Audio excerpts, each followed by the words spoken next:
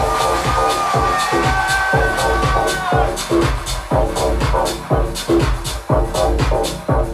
Tell us about your residency at the Rex Club and your parties. Uh, hi everybody, I'm Ben Men from Paris, France. I'm a resident and promoter at the Rex Club since uh, 15 years.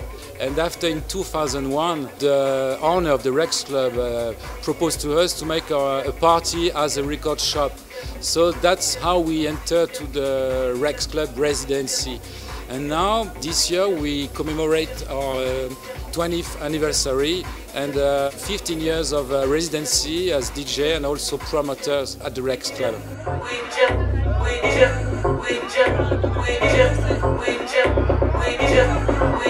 Please tell us about your label. We have a label called Btrax Records. The first release, uh, we were very lucky because we have the chance to sign Scan 7, uh, which, uh, which was and which are now, still now, a major band of electronic Detroit culture.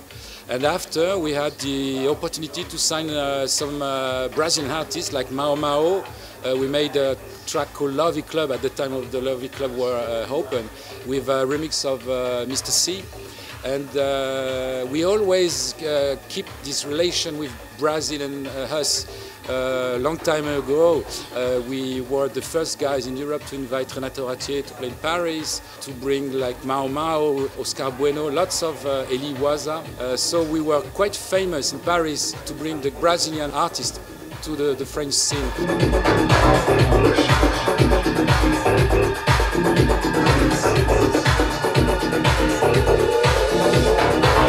How is the Paris electronic music scene going? To talk about the actual uh, Parisian uh, electronic scene and more in a general sense the French scene, it's quite nice because since few years uh, we have lots of promoters that bring a kind of new vibe uh, in Paris, like the guys from uh, Concrete, which is one of the most famous after in Paris, and now they have a very uh, worldwide knowledge and they also create uh, an amazing festival that's called uh, Weather Festival.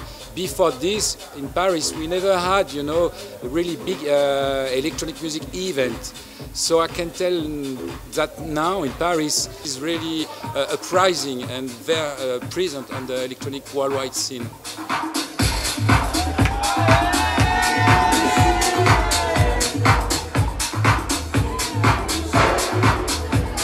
You have some amazing teasers for your parties. Who makes the videos? Besides my uh, nights, nightlife activities, I'm also a graphist and web designer. I have my own company, so we prefer to do the things by our hand, you know, because uh, it comes from our underground culture, you know. Because I think now you have many promoters, many DJs, and it's important to get a kind of a visual label on the name of for the party or uh, the DJ agency. So we do all the teaser, the video video production and also all the graphic production by our hand.